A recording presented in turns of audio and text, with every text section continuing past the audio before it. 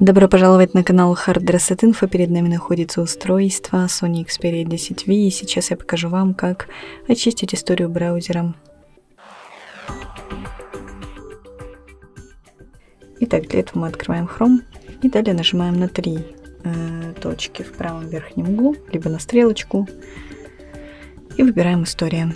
И нажимаем «Очистить историю». Далее выбираем временной диапазон и выбираем, что именно мы хотим очистить, после чего нажимаем «Удалить данные», нажимаем «Удалить» и таким образом очищаем историю. На этом все. Спасибо за просмотр, ставьте лайки, подписывайтесь на наш канал.